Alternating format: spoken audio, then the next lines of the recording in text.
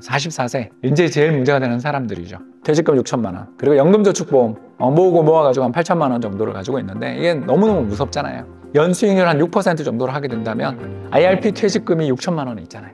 순식간에 자산들의 운용 규모들이 달라지는 거죠. 우리나라 사람들이 뭐 10억이 돈이냐, 100억이 돈이냐 같은 소리를 하고 있기 때문에 불행한 거예요. 사실 비교만 안 해도 우리 한국 사람들 얼마든지 행복해질 수 있다. 그런 생각을 저는 하고 있는 사람으로서 여러분들한테 이런 이야기들을 좀 들었던 것 같습니다.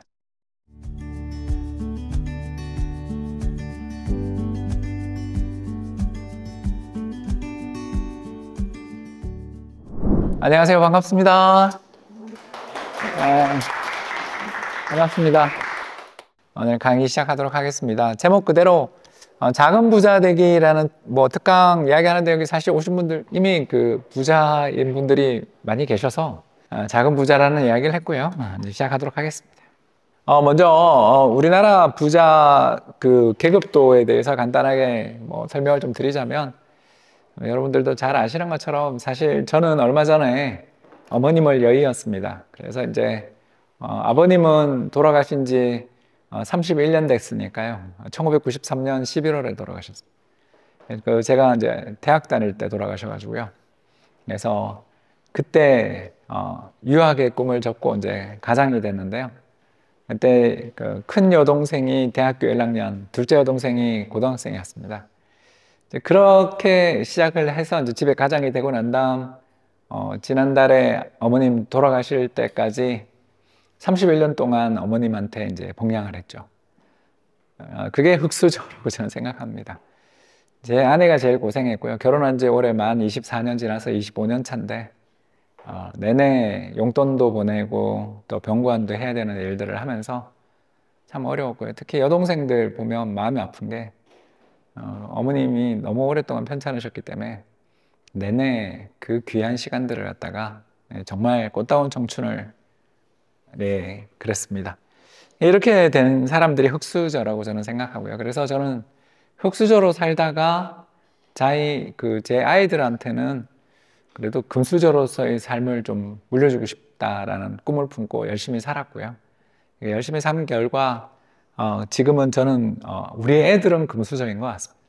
물론 이제 이 과정에서 발생하는 갈등은 피할 수 없습니다.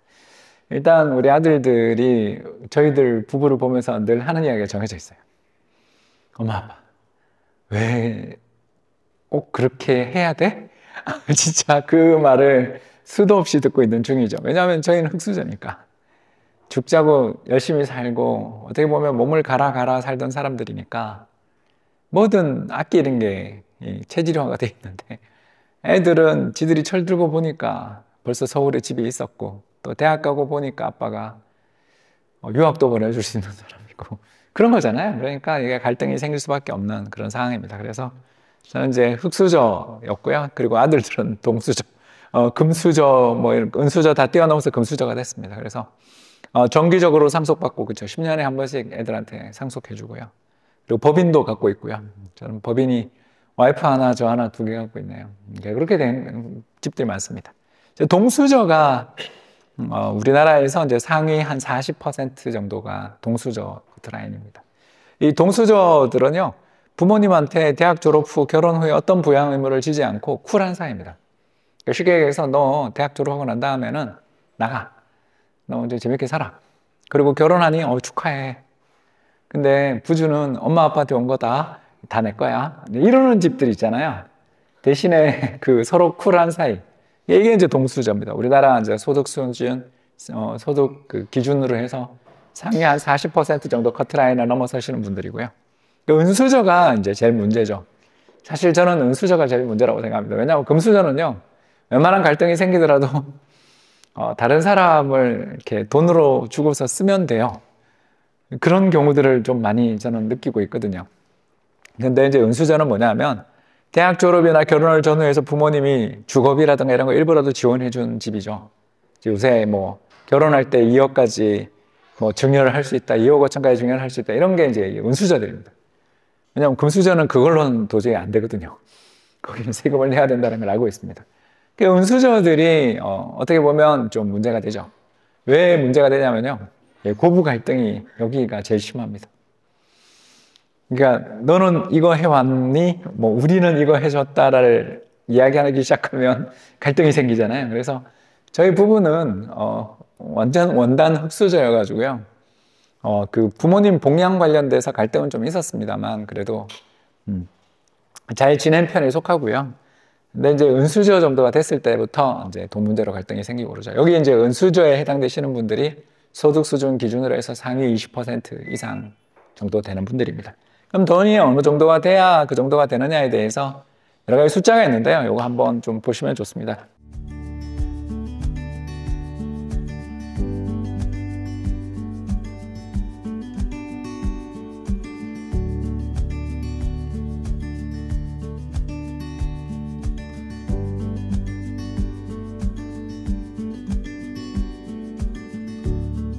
이거 2021년 통계인데요. 이게 제일 정확합니다. 왜 2021년이 제일 정확하냐 하면요. 22년에 대폭락했거든요. 자산 시장이 대폭락했잖아요. 그래서 2023년에 회복됐잖아요. 근데 다 회복 안 됐죠. 그래서 아직도 자산 기준으로 해서 역사상 최고치는 2021년이에요. 이렇게 생각하시면 돼요. 올해 회복했겠죠. 아마 올해 2024년 통계가 2021년 수준을 넘어서는 그런 통계가 될 겁니다. 그림 보시면 알겠지만 상위 0.1%가 얼마 정도 나오냐면 2021년, 22년 요 통계를 보시면 알겠지만 한 70억, 80억 정도 하죠. 저는 21년이 정확하다고 생각합니다. 그래서 소득 수준 기준으로 해서 77억 정도 되시는 분들이 상위 0.1% 커트라인이고요. 0.5가 38억 8천. 그렇게 안 높죠. 그죠? 네, 생각보다 우리나라 상위 0.5%가 안 높습니다. 왜 그러냐? 예, 아까도 말씀드린 것처럼 상위 0.1%부터 0.01% 분들이 원체 어마어마한 자산을 갖고 계시기 때문에 아, 밑에는 안 됩니다. 그래서 어, 소득 수준 상위 커트라인 1%가 29억. 그래서 저 정도가 되면 이제 금수저라고 저는 생각을 하고요. 어, 여러 번 여러분들하고 이제 제가 고객들 만나서 이야기하면서 맨날 질문이 제일 많이 받는 질문이 뭐냐면 박사님 법인을 만들어야 될까요? 라고 질문하시는 분들이 계시거든요. 그런 분들이 여기서 여기 사이 5%에서 1% 사이 분들이 이제 질문을 주시기 시작하시고요. 그리고 질문을 하시다가 자연히 답을 알아요. 아, 안 만들어도 되는구나. 조금 절세 계좌로 피해가고 좀 버티면 되겠구나. 그러다가 이제 1%를 넘어서는 순간부터는 어떻게 해도 세금을 피할 수 없다라는 걸 알게 되고 쿨하게 그래 매월 뭐 한 20만 원씩 어, 내고 또 사무실도 얻는 게 좋거든요. 그래서 사무실은 서울에 안 얻고 외곽으로 나가시는 게 또 이게 절세할 효과가 있습니다. 여러분 아시는 분들이 계실 거예요, 벌써. 예, 그런 식으로 사무실을 얻어나가면서부터 이제 법인을 갖게 되시는 분들이 1% 커트라인에서 생기고요. 아까 제가 이야기했던 은수저분들, 예, 9억. 딱 저 정도 되시는 분들이 이제 삶의 여유도 생기고요. 뭔가 주변한테 조금 풀 수도 있고요. 부주도 이제 좀 하고요. 그리고 자녀들 결혼하고 시집장가 갈 때 돈이라도 좀 줄 수 있는 집들. 대신에 이제 자기가 이룬 성취에 대해서 되게 자부심이 높으시니까 갈등도 이제 갈등이 자녀와의 갈등도 좀 꽤 심해지는 시기가 은수저다 이렇게 보실 수 있습니다. 그래서 이 정도 되는 순자산 커트라인들을 갖다가 여러분들이 마음에 염두에 두시면 되겠고요. 그리고 아까도 말씀드렸습니다만 2022년 통계는 잊으십시오. 왜? 저 때부터 폭락이 시작됐기 때문에. 그래서 저게 3월달 기준으로 작성이 아마 됐을 거예요. 그래서 23년에는 저보다 훨씬 더 줄었고 올해는 다시 회복됐습니다. 그래서 대략 2021년이 가장 적절한 통계다. 저는 그렇게 생각을 하고 있고요. 앞으로 잠깐 더 넘어가서 그래서 이제 저는 아까 흑수저 이야기를 잠깐 했는데요. 예, 그 저기 우리 노인분들이 저희 어머님은 뭐 그냥 70대 후반에 돌아가셨는데요. 요즘 점점 더 어, 건강 상태가 좋다고 생각하는 노인들이 계속 늘고 있습니다. 음, 그렇기 때문에 흑수저들의 고통은 어, 정말 심각한 상황이 될 수 있죠. 왜 그러냐면 어머님, 아버님이 오래 사시는 건 너무 좋은 일인데 복량의 기간이 끝도 없이 길어지게 되겠죠. 그래서 이제 어, 승부를 봐야 됩니다. 저는 맨날 하는 이야기가 흑수저들은 40 전에 승부를 봐야 된다. 왜? 40 넘어가면 부모님이 70이 넘으니까. 네, 70이 넘는 순간부터 카운팅이 시작되거든요. 그래서 아무리 건강하시는 분들도 70대 접어들기 시작하면서부터 건강평가가 급격히 이제 나빠지기 시작하는 그런 상황들을 볼 수 있습니다. 넘어가죠. 예, 그리고 이제 우리나라 사람들이 어, 스스로에 대해서 너무 그 이렇게 비하하는 면이 많은데 요 그림을 오늘 좀 보여드리고 싶었는데 이제 2022년 통계 이게 어디서 나온 통계냐면 바로 Global Wealth Database Databook이라고 하는 건데요. 바로 크레딧 스위스 이제 없어졌죠. 이제 UBS에 합병됐습니다. 이렇게 이렇게 전 세계 PB의 시장을 잡고 있는 은행조차 망합니다. 그게 세상 일이고요. 그래서 여기서 이제 발표한 보고서인데 어, 사람들의 그 평균적인 wealth, 평균적인 순자산입니다. 얼마일까요? 68만 불. 9억 되겠죠. 상당히 부자입니다. 왜냐하면 평균이 9억이라는 건 엄청난 거죠. 우리나라는 아까 상위 10% 커트라인이 9억인데 여기는 평균이 9억이니까 엄청 부자인 거죠. 그래서 스위스, 미국, 홍콩 이런 순서인데 여기서 이제 문제가 되는 게 바로 뭐냐면 어, 보물섬들입니다. 보물섬이 뭐냐면 조세 회피죠. 그 쉽게 해서 전 세계 부자들이 상속용으로 국적을 하나씩 취득하는. 그래서 제 주변에도 모나코 국적자가 있습니다. 예를 들어서. 왜 거기 가겠습니까? 네, 거기가 세금이 없거든요.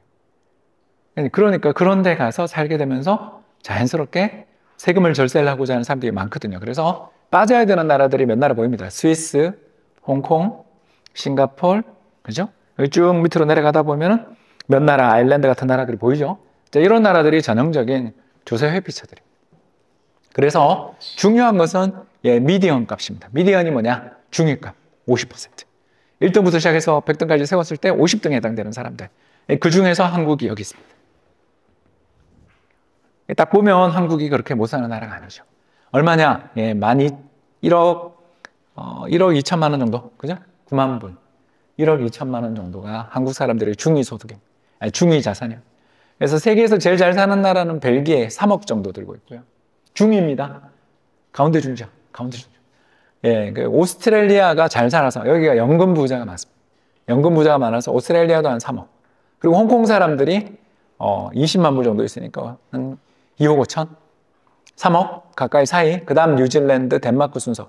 다 이제 어디 나라들이냐면 유럽 나라들이. 그러니까 유럽이 옛날보다 못하다 그러지만 어, 순자산 기준으로 보면 여전히 잘 사는 나라들이 많죠. 이렇게 쭉 내려가고요. 미국이 이제 10만 불. 못 살죠. 우리보다 어, 1000불 차이밖에 없어. 이게 또 환율을 감안해야 되니까. 자태 2022년에 환율이 올라서 우리가 저평가된 게 있거든요. 그래서 사실 중위, 그러니까 1등부터 100등 사이에서 50등 자산으로만 놓고 보면 한국이나 미국이나 거의 비슷합니다. 그래서 아시아에서는 누가 잘 사냐면 대만이 잘 사는. 근데 그 대만 사람들 못 사는 것 같은데 잘 산다고 통계가 나와서 이거는 제가 잘 모르겠습니다. 아, 대만 여행 가신 분들은 다 느끼잖아요. 대만이 우리보다 잘 산다? 소득이 많다? 자산이 많다? 이거에 대해서 좀 궁금한 분들이 있으실 텐데 참고로 한국이랑 일본, 싱가포르가 다 비슷합니다. 아, 그래서 이런 걸 보면 1억 정도가 우리나라 성인 기준입니다. 성인 가구 말고요. 아까는 가구였고요. 이거는 1인. 1인 기준으로 해서 1억 정도 가지고 있으면 사실 괜찮은 겁니다. 1등부터 100등 사이에서 50등. 근데 우리가 눈이 너무너무너무 뜨죠. 그리고 자녀한테 너무너무 잘해주고 싶고, 뭔가 상속할 때 해주고 싶고, 좋은 마음을 갖고 있지만, 너무 그, 이거에 스트레스를 받으면 재테크가 좀 어려움을 겪게 된다. 이런 이야기를 하려고 이렇게 어, 이야기를 했습니다. 자, 그래서 가구별 어, 자금 부자 되는 방법 하면서 25세 직장인 이야기를 했는데요. 그래서 투자 기간이 40년 정도 되겠죠. 왜냐하면 65세 연퇴가 되니까 요새 국민연금 수령이 65세니까. 그래서 40년 동안 굉장히 길기 때문에 8% 운용을 한다라고 가정을 했을 때 연수익률 8%라면 매년 300만 원 정도만 저축하면 돼요. 너무 적어요. 이러면 얼마가 되냐면 10억이 돼요. 우리 아까 상위 10% 커트라인이 얼마였죠? 9억이었죠. 인플레 때문에 저기 올라가겠지만 사실 투자의 기간이 길 때 한0.8% 정도로 40년을 운영하면서 매년 한 300만 원 정도만 적립 투자를 해도 저게 충분히 달성 가능한 거죠. 반대로 2% 운영하면 어떻게 되겠어요? 은행 예금. 예, 매년 1,600만 원을 저축해요. 그래서 우리가 항상 자녀들을 비롯한 젊은 분들 투자를 가르칠 때 항상 하는 이야기가 이겁니다. 굉장히 긴 기간이 있으니까 적극적으로 운영하는 건 좋은데 어, 돈을 빌려서 한다거나 개별 종목에 올인하지 말고 그냥 연 한 7, 8% 목표로 하다 보면 저게 돈이 쌓이고 또 돈이 쌓이는 게 마음에 안 들면 월 30만 원씩 저축하던 걸 40만 원으로 저축하면 되는 거지. 너무 그렇게 서두를 필요가 없다라는 이야기를 하는 이유가 이 나이가 젊은 사람들이만큼 이익을, 이점이 있습니다. 이제 33살, 합산 월급 400을 벌고 있는 34세 부부, 이제 보나마나 어, 남편은 풀타임인데 여성분은 자녀 양육 때문에 파트타임으로 일하고 있는 집입니다. 이런 집들 보면 어, 가처분 소득, 여기 대해서 이제 우리가 연 7% 수익으로 어, 우리가 은퇴할 때까지 돈을 모은다라고 가정을 하게 될 때 이 사람은 이제 당연히 65세까지 아까보다 시간이 짧아졌죠. 30년 정도로 짧아져 있는데 그러면 7%를 운영하게 될 때 아까는 300만 원이었는데 이제 800만 원. 네, 이게 크죠. 대신에 2% 운영하면 2천만 원을 저축해야 되는데 이건 불가능하잖아요. 월 400번은 지금 무슨 소리 2천을 저축합니까? 그래서 이거는 800 정도야 월 60에서 70 정도 저축하면 되는 거니까 할 수 있죠. 이런 식으로 투자를 하면 충분히 가능하다라는 거고요. 44세. 이제 제일 문제가 되는 사람들이죠. 어, 얘 이제 44세인데 외벌이네요. 어, 350만 원을 벌고 있는 또 쌍둥이 아빠들. 그래서 이게 되게 어렵고, 어, 특히 뭐 시드머니도 없고. 근데 다행스러운 것은 이직 시 받았던 IRP, 이제 퇴직금이죠. 퇴직금 6천만 원. 그리고 연금저축보험 어, 모으고 모아가지고 한 8천만 원 정도를 가지고 있는데 이게 너무너무 무섭잖아요. 깨먹으면 큰일 나니까. 그래서 연 수익률을 6% 정도로 눈을 낮춰서 운용을 하면서 은퇴할 때까지 20년 모아보자. 이제 이렇게 운용을 할 때 연 수익률 한 6% 정도로 하게 된다면 IRP 퇴직금이 6천만 원 있잖아요. 그리고 그 연금저축을 연금저축 펀드로 이관. 죄송합니다. 연금저축보험은 저는 정말 추천하고 싶지 않아요. 어떤 분이 물으시더라고요. 그래서 박사님 비과세 되지 않나요? 그래서 수익이 난 거가 있어요. 비과세도 의미가 있지 않아요. 수익이 나지 않는데 비과세가 무슨 의미가 있냐. 그런 이야기를 제가 종종 드리게 되는 게 이것 때문인 거죠. 그래서 여기도 6%로 운용을 하게 된다 그러면 순식간에 자산들의 운용 규모들이 달라지는 거죠. 그래서 매월 100만 원씩 납입을 한다라면 더 좋고요. 근데 이런 식으로 해서 운용을 해 나간다면 충분히 가능하다라는 거죠. 그래서 우리나라 사람들이 뭐 10억이 돈이냐, 100억이 돈이냐 같은 소리를 하고 있기 때문에 불행한 거예요. 저는 사실 비교만 안 해도 우리 한국 사람들 얼마든지 행복해질 수 있다. 네, 그런 생각을 저는 하고 있는 사람으로서 여러분들한테 이런 이야기들을 좀 드렸던 것 같습니다. 자, 이제 넘어가서 자산 배분의 기초들을 오늘 좀 설명을 드릴 텐데요. 어떤 분들이 이제 저한테 어, 많은 상담을 하시는데 이 종목이랑 이 종목 가지고 있는데 박사님 어떻게 할까요? 이렇게 많이 물으시는데 그 종목들을 살펴보면 이런 차트들이 나오는 거죠. A 투자와 B 투자가 가격만 좀 차이가 있지 움직이는 방향이 똑같죠. 저렇게 되면 오를 때 같이 오르고 빠질 때 같이 빠지잖아요. 그래서 분산 투자의 효과라는 건 제로가 됩니다. 한마디로 말해서 저거 뭐 나눠가지고 투자한다고 고생만 했지 푼만 많이 들었지 저게 아무 의미가 없는 투자가 돼버리는 거죠. 그걸 가장 잘 보여주는 차트가 이겁니다. 바로 코덱스 바이오. 이게 이제 뭐냐면 코덱스라는 게 삼성자산운용에서 출시하는 ETF 브랜드 이름입니다. 그래서 코덱스 그러면 삼성자산운용, 타이거 그러면 미래에셋 이렇게 생각하시면 되겠습니다. 에이스 그러면 한투운용. 요새는 이제 라이즈 뭐 이런 거 나왔죠. 이거는 KB운용. 근데 이제 우리나라는 그 상위사들 둘이 그 삼성이랑 그 타이거가 전체 시장의 80% 이상을 장악하고 있기 때문에 그 두 회사 이름이라도 알아두시면 괜찮습니다. 예, 대부분 갖고 있고요. 근데 이제 이 코덱스 바이오랑 코덱스 반도체의 주가 차트인데 한국이 이렇습니다. 일단 예, 어, 바이오 딴 나라는 바이오가 안정적이라는데 우리는 그런 거 없습니다. 그래서 한 번, 두 번, 세 번, 그리고 원상복귀. 그리고 여태까지만 해도 바이오랑 반도체 주가가 반대로 좀 갔어요. 근데 최근에는 이때부터 슬슬 같이 가기 시작하죠. 한마디로 말해서 나는 반도체도 가지고 있고 바이오도 가지고 있고 그러면 효과가 없어요. 어, 둘 다 망했다 말고. 그러니까 망했다라는 표현보다는 어, 십몇 년을 투자를 했는데 수익이 그죠? 저 800에서 시작을 했는데 1600 갔다가 지금 다시 그러니까 연 수익률 한 6% 7%? 아, 나쁘진 않은 수익인데 마음 고생한 거 치고 과연 이게 괜찮은 수익인가에 대해서 우리가 생각하는 거죠. 이게 이제 아까 보여드렸던 요 그림. 바로 뭐다? 아, 똑같은 방향으로 움직이는 애를 여러 개 갖고 있어 봐야 아무 소용없다. 예, 그걸 가장 잘 보여주는 사례가 한국의 바이오랑 반도체 투자다. 이렇게 말씀을 드릴 수가 있는 거고요. 그러면 어떻게 투자를 해야 되냐? 이렇게 반대로 움직이는 애를. 투자 C랑 D를 합쳐놓은 거 보시면 알겠지만 반대로 간다는 거예요.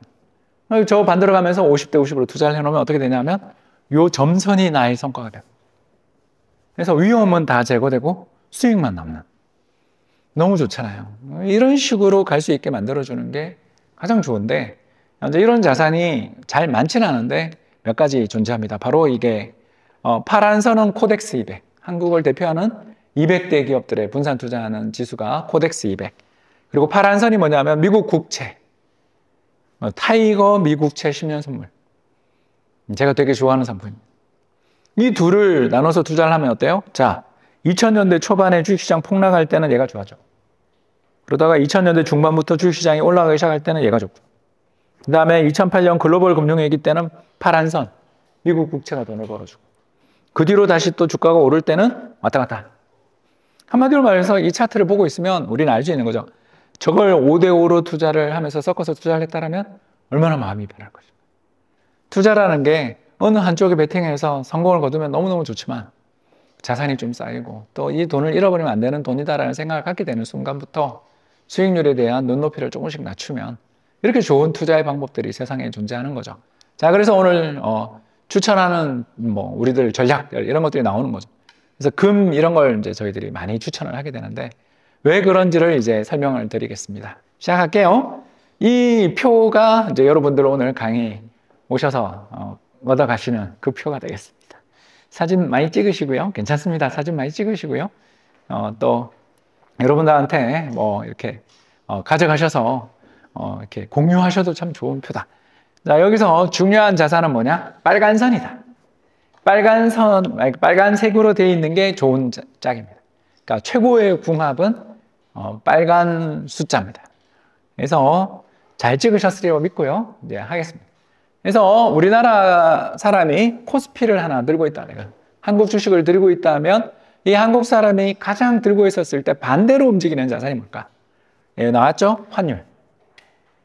예, 환율이 최고의 자산입니다. 그래서 미국 달러 표시 SOFR. 미국 달러 표시 외화 예금. 제발 좀 사라고 제가. 그렇게 간곡하게 요구하고 말씀을 드리는 게 SOFR를 사라고 하는 게 이것 때문에. 그리고 요 밑으로 내려가다 보니까 어, 미국 국채. 우리 아까 타이거 미국채 10년 선물 기억나세요? 이게 상관계수가 거의 마이너스 0.6이죠. 너무 좋잖아요. 0.7만큼은 아니어도 0.6도 너무너무 좋죠. 이만큼 좋고 얘는 더군다나 이자를 주잖아. 더 많이 주잖아. 아니까 얘도 이자를 주지만 외화예금도 이자를 주지만 외화예금보다 그래도 국채 수익률이 조금이라도 더 좋으니까 리스크가 있어서 수익이 더 좋습니다. 이건 더 좋고요. 그 다음 밑에 얘 제가 좋아하는 high yield 펀드. 미국 회사채 투기 등급 채권. 한국에 상장돼 있습니다. 미국에는 HYG. HYG. 예, 이거가 0.34. 너무 좋죠. 그리고 또 내려가니까 골드. 와, 나왔어요. 0. 마이너스 0.16. 자, 이런 거를 사라는 거죠. 이렇게 좋은 자산이 있고 반대로 미국 주식은 별로죠. 아무래도 같이 움직이는 성향이 큽니다. 자, 우리가 어, 집을 가지고 있어요. 아파트를 가지고 있다. 가정해보자라는 거죠. 그럼 아파트를 가지고 있으면 어, 아파트랑 주식은 플러스죠. 플러스 0.41 별로 좋은 짝이 아니죠. 내려가다 보니까 좋은 짝이 나옵니다. 외환시장. 그리고 더 내려갔더니 오 미국 주식. 너무 좋죠. 미국 주식. 그리고 더 내려갔더니 와 미국의 회사채. 이렇게 좋은 짝들이 막 계속 나오기 거죠. 그래서 이 표를 보면 알 수 있어요. 우리나라의 사람들이 부동산을 가지고 있다면 미국 주식을 좀 가지고 계시는 게 좋고 그리고 내려가다 보면 뭐 골드도 그렇게 높진 않잖아요. 0에 가까우면 좋은 거예요. 이런 식으로 움직이는 거죠. 자, 그 다음에 우리가 미국 주식을 가지고 있다. 그럴 수 있지 않습니까? 미국 주식을 가지고 있다면 마이너스가 되는 게 한국 아파트, 또 마이너스가 나는 게 우리나라 원화 예금, 그리고 마이너스가 나는 게 미국 국채 가다가 여기 보이세요? 마이너스 0.36? 뭐예요? 골드. 그러니까 미국 주식을 투자하고 계시다면 골드를 갖고 있어야 돼요. 이걸 이제 여러분들이 기억을 하시면 정말 정말 투자를 하는 데 있어서 너무나 좋은 거예요. 요 표를 염두에 두고서 마이너스 짝들끼리 내가 미국 주식 나스닥 100이든 S&P 500이든 너무 미국 주식이 좋아 보여. 그렇게 생각하면 금도 좀 사야 돼요. 또 한국 아파트를 내가 집이 전체 자산에서 집의 비중이 너무너무 크다고 생각되고 이게 리스크가 10년에 한 번씩은 폭락하잖아요. 집값이라는 게 어, 2013, 14년 하우스푸어 사태, 2022년에 있었던 이번에 주가 어, 부동산 폭락. 또 그 이전으로 돌아가면 97년의 외환위기. 그 이전에 돌아가면 또 1991년에 있었던 예, 일기 신도시 완공 이후에 그 힘들었던 폭락 장세 같은 것들이 다 10년에 한 번 정도 평균 10년에 한 번 정도 부동산 시장이 폭락한단 말이에요. 예, 그때 뭘 들고 있으면 나의 자산을 지켜주는가? 예, 금이랑 미국 달러 같은 것들을 좀 들고 있으면 좋다. 그래서 이 표가 중요한 거죠. 그래서 제가 뭐 이게 답이다가 아니라 마음이 편하다. 그리고 깨먹었을 때, 뭐 2022년이 대표적이죠? 뭐 서울의 아파트 가격, 실거래 가가 20% 30% 빠진 단지가 속출했잖아요. 아니 또 회복 못한 단지도 있지만 그때 어? 폭락한 단지들이 많았잖아요. 그때 만약 금을 들고 있었다. 환율 1,450원까지 올라가면서 금값이 원화로 계산된 금값이 폭등하고 있었죠. 그 그거 금이라도 좀 팔아가지고 한국 부동산 어, 한 채 더 사든가 갈아타기를 하든가 그렇지 않습니까? 아니면 뭐 뭐를 사도 되잖아요. 그러니까 이런 것들이 가능해지는 거죠. 그래서 너무너무 좋은 어, 차트가 아닌가. 근데 이제 어떤 분이 묻더라고요. 박사님, 근데 현금이 필요 있나요? 이런 이야기를 참 많이 하시는데 이 현금이 있으면 좋습니다. 이게 이제 바로 어, 자산 배분에서의 이제 두 번째 원칙인 rebalancing인데요. 이게 이제 셰넌의 도깨비라는 겁니다. Shannon's Demon이라고 부르는 건데요. 이게 뭐 별거 아닙니다. 자산을 5대 5로 갖고 있는데 5대 5 중에 저는 달러 현금이 좋아요. SOFR. 기억나시죠? 근데 소풀 못하면 코풀이라도 하시라. 코풀이 뭐다? 한국 원화 예금 ETF. 아무도 안 해요. 그걸 현금을 좀 들고 있으면 좋은 이유가 뭐냐면 5대 5로 유지하려는 태도를 유지하는 게 중요한 거죠. 자, 어느 날 2020년 제가 갑자기 대박이 났잖아요. 우리가. 주가가 종합주가 지수가 1,400이 3,000 갔어요. 진짜입니다. 1,400이 3,000 갔어요. 그러면서 주가가 폭등할 때 우리가 만약 주식을 들고 있었던 거에서 따블이 났어요. 그 따블이 난 걸 그냥 가만히 있었으면 지금 종합주가 지수 오늘 2,500이니까 꽝이잖아요. 그런데 그때 어떻게 한다? 오, 내가 현금을 천만 원 들고 있고 주식을 천만 원 들고 있었는 게 3천이 됐으니까 500만 원 팔아서 그죠? 5대 5니까 500만 원을 현금으로 다시 은행 예금을 갖고 있었다면 작년이나 저작년 같은 장이 폭락할 때 물투를 수 있잖아요. 그러니까 이런 식으로 투자를 하는 거예요. 그래서 이 파란 선이 주식인데 스탁이죠. 주식인데 한 번 크게 상승했다가 오르지를 못해요. 그러나 한 번 크게 상승할 때 열심히 현금을 갖고 있었기 때문에 그 현금을 가지고 장이 폭락할 때마다 계속 물을 타니까. 한 번 반등할 때마다 수익이 계속 누적되는 효과를 가지게 거죠. 그래서 주식시장이 오르지 못하더라도 수익을 낼 수 있어요. 물론 이제 이 전략을 쓰려면 마음을 굳게 먹어야 돼요. 예, 올랐는데 팔아야 되니까. 그리고 빠진 걸 사야 되니까. 그래서 어려워요. 어려워서 이걸 기계적으로 하는 게 중요합니다. 아무튼 이런 리밸런싱을 해야 되는 거고요. 그래서 아까 제가 잠깐 이야기했죠. 2000년 당시에 한국 주식 500만 원, 미국 국채 500만 원을 투자했다고 가정을 하는데 2월 달 그죠 금융위기가 발생했죠. 바로 코로나 팬데믹. 터져가지고 한국 주가 반토막 났고 그때 1450 갔다고 이야기했죠. 1400포인트 가고 미국 국채는 또 환율이 급등해서 30% 수익이 났다. 그럼 어떻게 돼요? 어, 3월 말에 투자 금액이 900만 원 됐잖아요. 어, 손실이 났어요. 손실이 났는데 여기 가만히 있으면 안 되는 거죠. 왜? 어, 저기 미국 국채 들고 있는 데서 발생한 이익을 폭락한 한국 주식을 사주는데 써야죠. 그게 이제 다음 페이지. 바로 어떻게 한다? 예, 한국 주식을 200만 원 매수하고 미국 국채를 200만 원 매도하는 거죠.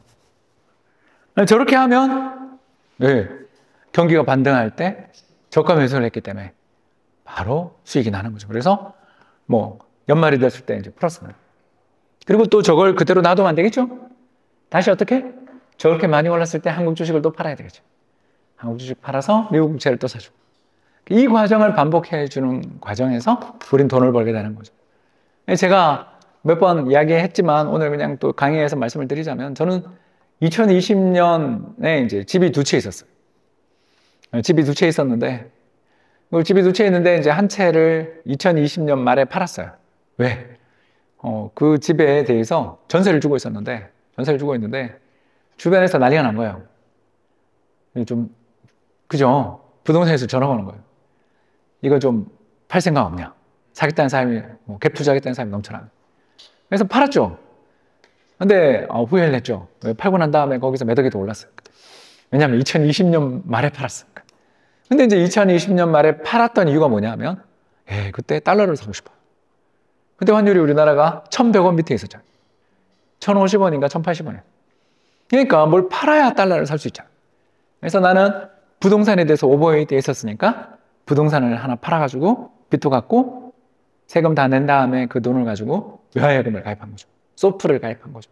그 소프를 가입해서 한 2년 지나니까 이제 또 반대로 2022년 말이 되니까 어떻게 돼요? 나라 망한다고 난리가 나고 환율이 1,450원 가니까 또 외화예금에 저는 아파트 한 채가 들어있었잖아요. 아파트 한 채가 들어있는 상황에서 외화예금 환율이 어떻게 됐겠어요? 음, 환율이 한 300원 올랐겠죠. 거기다가 금리는 한, 저 미국 연준이 금리를 계속 인상해 주니까 막 3%, 4% 계속 올라가더라고. 가만히 들고 있어도 되는데 또 이렇게 보니까 너무 제가 달러 비중은 커지고 원화, 부동산 비중이 너무 적더라고요. 어, 어떻게 해요? 또 그거 달러를 팔아가지고 갈아탔죠. 왜냐면 두 채 사는 거는 그때도 정부가 규제를 완화 안 해주는 지역이어가지고 제가 살려는 지역이.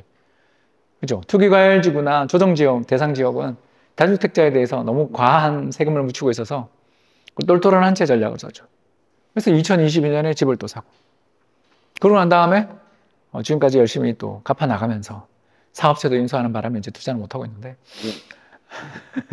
작년 말에 제가 프리즘 투자자문을 인수했잖아요. 그 돈이 어디서 나왔겠습니까? 예, 다 그 돈이죠. 예, 미국 달러 판 돈이다. 이 사례에서 보는 것처럼 여러분들 별거 아닙니다. 부동산 시장이든 주식이든 자기가 생각하는 메인 자산이 있고 그 메인 자산에 반대로 움직이는 자산을 들고 있다가 비율이 너무 한쪽으로 기울었다 싶을 때 예, 비율을 돼요. 그러다가 찬스다. 내가 잘하는 분야고 이 분야는 여기는 거의 손실이 안 날 것 같아. 라고 생각될 때는 베팅을 하는 거죠. 모르겠다. 뭐 오시면 되죠. 그렇지 않습니까? 어, 제가 이렇게 강의를 하는 이유가 뭐겠어요? 어, 여러분들 얼굴 익히고 편하게 오시게 할 수 있도록 이런 강의를 하는 거잖아요. 그래서 여러분들 어, 유튜브에서 댓글 달아주셔도 되고 프리즘 투자자문 찾아오셔도 되고요. 아 잠깐 어, 프리즘 투자자문 이야기를 넣은 김에 조금 더 광고를 하자면 얼마 전에 저희 프리즘 투자자문 직원을 사칭해서 어, 고객에게 자기 계좌로 이체를 요구했던 사례가 있었어요. 되게 멀쩡하게 생긴 예쁜 여자분이셨는데요. 그 고객님이 돈을 입금하러 오신 그 고객님이 하도 의심스러워서 저희 회사를 찾아오시지 않으셨다면 그분이 큰 사기를 당했겠죠. 그래서 오늘 이 자리에서 다시 말씀드리지만 프리즘이 잘 되고 있고 어, 홍춘옥 박사, 홍 박사가 그래도 네임 밸류가 있으니까 사기꾼이 설치는 거겠지만 어떤 금융기관에서 직원 개인 계좌로 돈 넣으라는 데는 없다.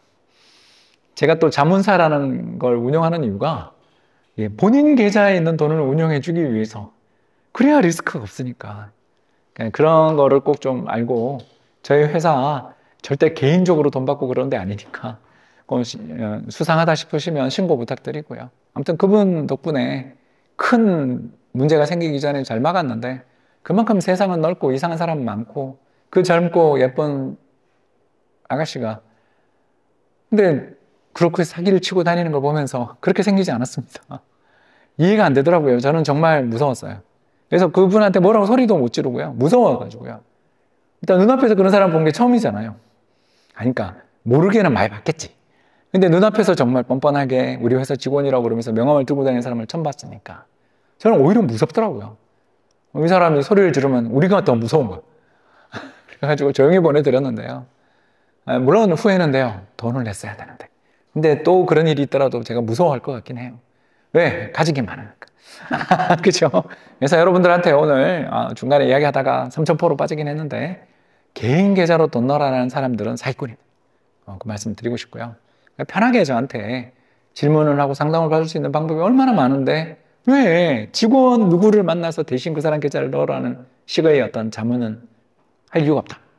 네, 저는 오픈돼 있고 공개된 곳에 있는 사람이다. 아, 이렇게 말씀을 좀 드리고 싶다.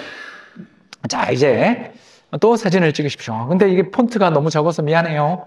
욕심이 많아가지고요. 제가 이게 숫자를 다 넣어드리고 싶어가지고 이렇게 폰트를 좀 작은 걸 썼습니다. 죄송해요. 예. 어, 이제 이게 뭐냐면요. 지난 22년, 23년이네. 23년 동안의 수익률.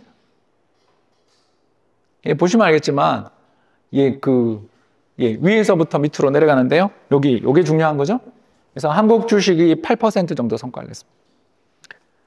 연, 연. 상당히 좋아요. 우리나라 주식시장 망했다고 막 그러는데 그거는 최근에 저러고 있는 거고요. 실제로 수익은 나쁘지 않아요. 저 수익은 나쁘지 않고요. 그리고 미국 주식시장 좋다 그러지만 저기 보시면 알겠지만 미국 주식시장 수익률 7.3%인데 비해서 한국이 더 높아요. 그래서 이렇게 어디가 무조건 좋고 여기 하면 바보다 이런 게 아니라 둘 다 좋을 때가 있고 나쁠 때가 있는 거죠. 근데 이걸 제가 왜 가르쳐 드리는지 아시겠죠? 예, 현금 아까 기억나세요? 덕기에 비해서 주식이랑 현금만 가지고 투자를 했는데도 우상향했죠. 자 그런데 만약 그 현금이 이자도 주고 수익도 좋은 현금이었으면 수익이 더 잘 났겠죠. 이해되시나요? 그러니까 자산 배분이라는 건 세 가지밖에 없어요. 첫 번째, 반대로 움직이는 짝을 잡아라. 반대로 움직이는 짝을 잡아라. 두 번째, 1년에 한 번이라도 제발 좀 벌었다 싶을 때, 어, 저평가된 걸 사자. 세 번째, 기왕이면 그 짝은 우상향하는 수익이 꾸준히 나는 자산으로 pairing을 하자.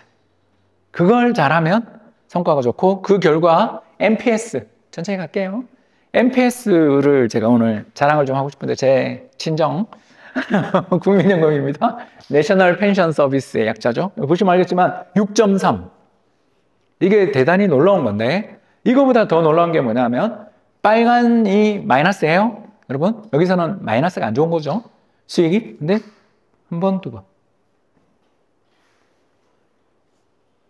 보이세요? 수익률이 딱 두 번 마이너스.